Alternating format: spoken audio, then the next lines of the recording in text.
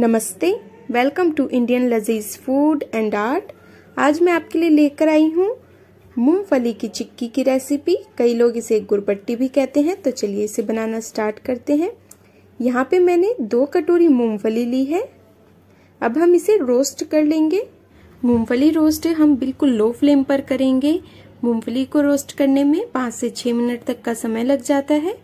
फिर हम उसके बाद गैस की फ्लेम अब ऑफ़ कर देंगे। और मूंगफली को मैं एक थाली में निकाल लूँगी। फिर हम इसे थोड़ा सा ठंडा होने के लिए रख देंगे। जब ये थोड़ा ठंडा हो जाए तो हाथों से इस तरह से प्रेस करके हमें इसका छिलका हटा देना है। सारा छिलका हमें मूंगफली का हटा देना है। छिलका हटाने के बाद मूंगफली इस तरह की दिखेगी। फिर हम एक कटोरी लेंगे। आप कोई सी भी कटोरी ले सकते हैं। कटोरी की हेल्प से हमें इस तरह से प्रेस करके मूंगफली के दो टुकड़े करने हैं। अगर आप ऐसे नहीं करना चाहते तो इससे भी एक आसान तरीका है। आप कोई सी भी पॉलिथीन ले, उसके अंदर डाल दें मूंगफली को और उसे इस तरह से बाँध ले गांठ। फिर हम इसके ऊपर बेलन से इसे प्रेस करेंगे, बेलेंगे बेलन से, जिसकी वजह से मूंगफली के दो टुकड़े हो जाएँगे। ये बहुत ही ज़्यादा आसान तरीका है तो आप इस तरीके से कर सकते हैं। ये बहुत ही ज़्यादा आसान तरीका है, जिससे सारी मूंगफली के बहुत ही आसानी से दो टुकड़े हो जाते हैं तो आप इस तरह से कर सकते हैं। अब हम गुड़ लेंगे। जितना हमने मूंगफली लिया है, उतना ही हमें गुड़ लेना है।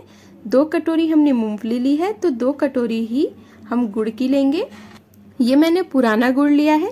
पुराने गुड़ से हम गुड़पट्टी बनाते हैं तो वो बिल्कुल चॉकलेट की जैसी बनती है, बिल्कुल चॉकलेट जैसा उसका रंग आता है। गुड़ को हम कढ़ाई में डाल देंगे। और इसे हमें लो फ्लेम पर ही भूनना है। बीच में आप मीडियम फ्लेम थोड़ा सा कर सकते हैं, नहीं तो हमें इसे लो फ्लेम पर ही भूनना है। अब हम इसके अंदर दो चम्मच पानी डाल देंगे, जिससे गुड़ जो है वो चिपकेगा नहीं बर्तन में, और इसे हम इसी तरह से चलाते हुए इसे मेल्ट होने देना है। फिर हम बीच बीच में गुड़ को चेक करते रहेंगे कि गुड़ तैयार हुआ है कि नहीं।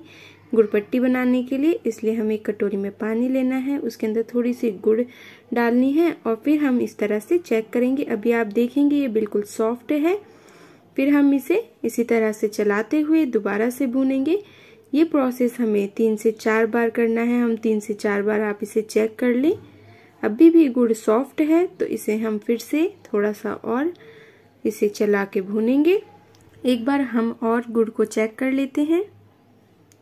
अभी ये थोड़ा सॉफ्ट है, हमें थोड़ा सा और क्रंची गुड़ चाहिए। इसी तरह से हम चला के भूनेंगे इसे और एक बार और मैं चेक कर लूँगी।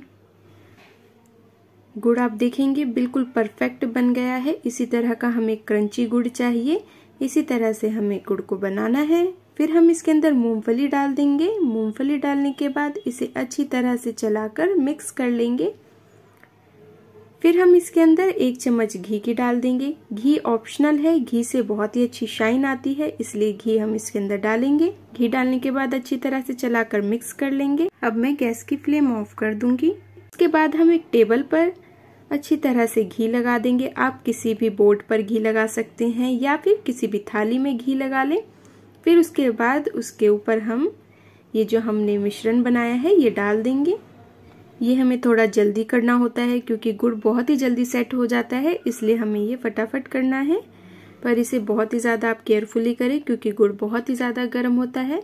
फिर किसी भी चाकू की हेल्प से हम इसे एक शेप देंगे। फिर आप एक बेलन ले लें उस पर अच्छी तरह से घी लगा लें। इस तरह से अच्छी तरह से बेलन ले सकते हैं आप उस पर अच्छी तरह से घी लगा लें। फिर हम इसके ऊपर थोड़ा सा तिल डाल देंगे। तिल भी ऑप्शनल है, आप इसे स्किप कर सकते हैं, फिर हम इसे अच्छी तरह से बेलेंगे। अगर आपसे बेलन से नहीं बेला जाए तो इसके ऊपर एक पॉलिथीन डाल दें और फिर उसके ऊपर से बेलें। ये सबसे आसान तरीका है। फिर हम इसे थोड़ी थोड़ी देर में शेप देते रहेंगे और आप इसे जितना भी मोटा रखना चाहते हैं, उसके अकॉर्डिंग इसे फिर हम बेलेंगे। इस तरह से पन्नी लगाकर बेलने से ये बहुत ही आसान तरीके से बिल जाता है, आप देखेंगे। कि ये कितना आसान है, फिर इसे थोड़ा सा ठंडा होने के लिए रख देंगे और फिर हम इसके ऊपर चाकू से इस तरह से निशान कर लेंगे ताकि ये अच्छी तरह से इसी शेप में जब हम इसे तोड़ें तो आराम से निकल जाए। फिर 10 से 15 मिनट बाद मैं इसे एक प्लेट में निकाल के रख दूँगी। अगर आप थाली में बना रहे हैं तो उसी पे रहने दें इसे। आधे घंटे के लिए इसे हम रूम टेम्परेचर में ही सेट होने के लिए रख देंगे। आधे घंटे बाद आप देखेंगे कि कितना ज़्यादा क्रिस्पी और क्रंची बना है। आप इसी तरह से मूंगफली की चिक्की या गुड़ की पट्टी जिसे कहते हैं, अपने घर पर बना सकते हैं। वो भी बिल्कुल मार्केट जैसी क्रंची। ये बिल्कुल भी दांतों में नहीं चिपकती, बिल्कुल क्रिस्पी बनी है तो आप भी इसी तरह से इसे बनाएँ।